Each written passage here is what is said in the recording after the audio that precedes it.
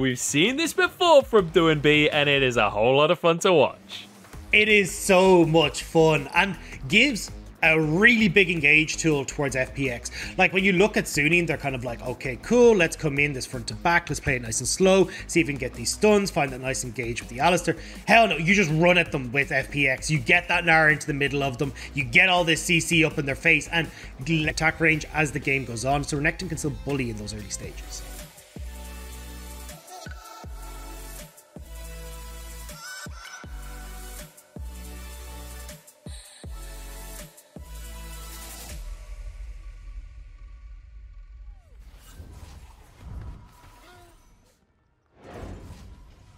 It is time to get game number two underway between Suning and FPX. Those three items in his back pocket until he gets to those later game team fights where we've seen this Xayah.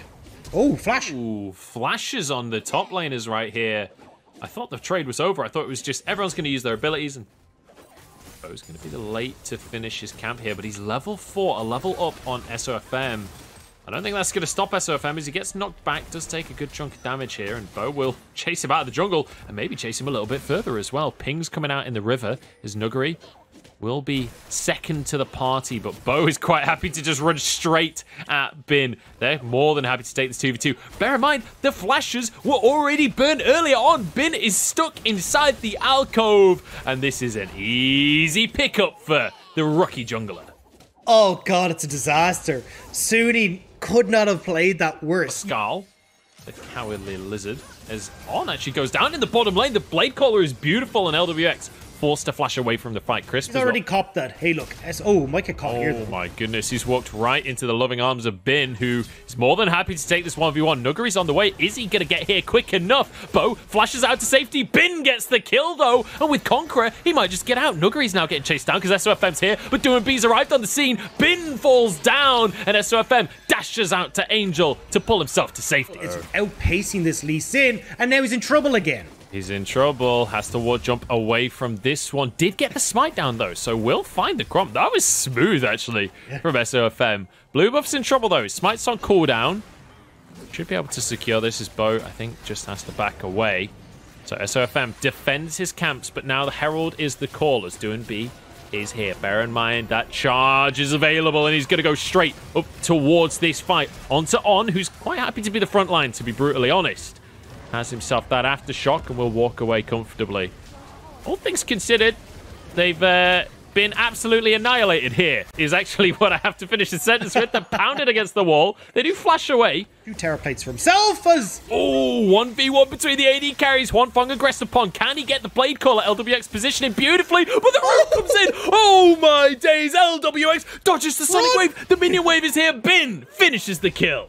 Oh, LWX gets the play, but Suning able to turn that one back around. So, when all is said and done, we're kind of even Steven, apart from those summoner spell usage, because the two plates on the bot side will equal the two plates that are going to be taken on top of the Rift Herald. However, because Bin had been invested in moving this teleport down, ensuring they got the turnaround kill onto LWX, you've got three members of FPX in this top lane, so they can take this top lane turret and give so much gold to Bo and Nuguri. Yeah, and Mega Gnar is actually really good at taking turrets because of all the bonus stats that you get when you transform into that Mega Gnar. You really pound on those turret plates. Herald will be dropped. Bin has arrived, but he is way too late. This tower is all but gone, and that is a huge chunk of gold going the way of FPX. And even though the trades look like they're going even, look at the gold. It's 3,000 now. In favor of FPX as Doinb is caught in the river. Angel with the Unleashed power waits for the mini version, the outside of the skull. Doinb will go down. So good punish from Suning, but sight. SOFM is on the top side. Maybe this is an opportunity onto Nuguri, but they're stacking up on a Mega Gnar. This is a good ult, but doesn't actually find any stuns. Jumps over the He's wall. He's out again, isn't he? He's, he no, why did they? Why didn't they Every commit time. to that? He, he, doesn't even have flash. I feel like they... Thank you. I knew I was missing one, but yeah. um, yeah, definitely. When you look at these guys, Nuguri's just putting them in their place, and you can see the results. Oh my goodness, Bin is just getting railed on by Nuguri, but the TP comes through from Angel, and On is here. You don't get to flash this one, Sunshine. Takes him down and puts him into the earth. You nailed it, Munch. Three was the magic number. Not one, two, not four, but three people are needed to take down Nuguri. It's all been bruised. Three was the secret this whole time. But FPX would pick up the second dragon of the game, so not quite at three. Are putting a lot of pressure mid, though. Bo's in trouble. Great flash from On, and this is going to be the pick coming straight on in from SOFM. Nicely done. And a cheeky little Galeforce as Kills well. and turret plates are going to have a big advantage as well. So getting some gold into their pockets is going to be really crucial because when we hit these big team fights, right now, it's heavily in favor of the hell away. Yeah, you're saying you're walking past Nuguri. Nuguri ain't letting anyone walk past him, that is for sure. Herald going to be dropped in the mid lane to try and garner some priority, but because of the wave, it's just instantly cleared by FPX. Now they get to stroll on over towards this dragon. One Drake apiece so far. Gold still in favor of FPX as they look to make things happen. Charging Oh, no. the bot side. LWX is alone. It- LWX is just wondering where his entire team just vanished to. As Bin is wondering the exact same thing elsewhere on the map. LWX jumping forward, just gonna get the isolated Q on the Gromp. Bo's gonna take that one. That's his Gromp, remember? Bo owns the Gromp. Huanfeng pushing the up in the mid lane. The dragon! Bin. He is just legging it across the top half of the map right Forget now. about Bin. Dragon is still up. There's a tower being taken in the mid lane. Bo is looking to try and What stop we Bin doing? escaping from this as he's just buying as much time as physically possible. Bo had already used the Weaver's wall. He's not coming anytime soon. Oh. Angel? Angel somehow surviving that one. In they go. On towards Nuguri, who's not in the Mega Gnar for now, but they back away once more. I don't know what Suning are. Well, what they aren't aren't doing. They should be doing something. They need to be making these plays work. The second you see both Bo and Nuguri commit to that play, you get the hell towards Dragon. You try and steal that, or you hard commit for this mid lane. Get something off of the play. Instead, they just kind of finagle around in the mid lane. Don't get very much for it, and it's all for naught. I mean, now you've got TPs Oh. coming in. They're in a dangerous spot. Yeah, Nuguri's coming behind him. Weaver's wall to cut off the retreat, but they just all in straight onto LWX. Deny the carry, the fight, and you maybe win it yourself. In goes the Kled, Doinb, trying to do what he can, but he's just taken out. Beautifully done by Angel. Scatter the weak onto Crisp and onto Bo as Bin has found a flank of his own. He wants the Taliyah and he wants to praise the sun. Crisp trying to escape, but he's not going to be allowed out of that one. One more slice of the old glaive. And now maybe Baron is open for Suni. That was a massive mistake from LWX. Both fights now, he's kind of been like the the kid that's not quite able to keep up with the other ones as he's running and lagging to try and get in towards them, play with the other kids. But he gets caught out by Suning. And uh, that's the second time now that he's not been able to get into a fight as quickly as they'd like. Suning do a great job of solidifying that team fight, and now they get the Baron. So when we were just criticizing them for not actually making plays, they get the perfect setup and get themselves back in this game. Now they get themselves a Baron as the reward.